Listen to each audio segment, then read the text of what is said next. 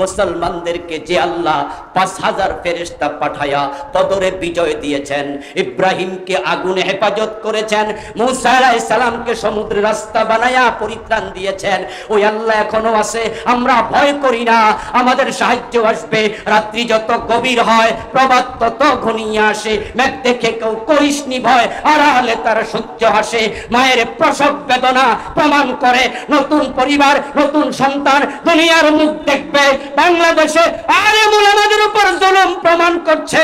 কিছুদিন পরে ইসলামের নতুন সূর্য উঠবে। আমার ভাইয়েরা, আল্লাহর সাহায্য পাওয়ার জন্য আল্লাহর উপর ভরসা বাড়ানো দরকার আছে না নাই?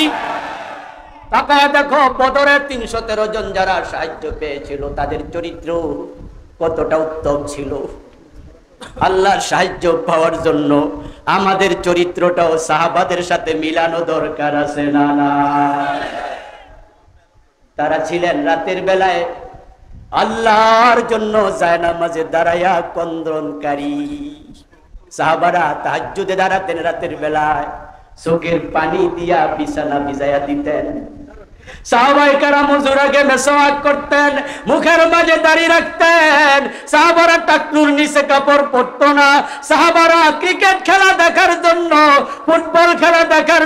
ঘণ্টার পর ঘণ্টা অপচয় করতো না।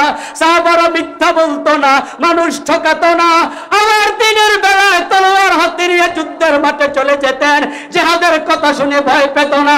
এমন চরিত্র আমরা যদি তৈরি করি আগামী দিন আল্লাহ আবার দেবে। এজন্য সাহাবাদের চরিত্রের মতো চরিত্র তৈরি করো মুসলমান। মুখে বলবা, জেহাদ জেহাদ জেহাদ চাই। অথচ জেহাদ লাগলে আমি নাই। পরীক্ষা দেখলে পলায়া বাড়ি চলে যাইবা, সাহায্য পাবে না। ইসলাম কায়েম করতে হবে, ইসলাম কায়েম চাই। অথচ নিজেই টাকনুর নিচে কাপড় পরে বসে আছে। ইসলাম কায়েম করবা তুমি সমাজে দেশে। অথচ তোমার মুখে দাঁড়িয়ে নাই দিনে একবার কামাও। তোমার দেহে তো ইসলাম কায়েম করতে পারো নাই তোমার দ্বারা দেশে ইসলাম কায়েম হবে না।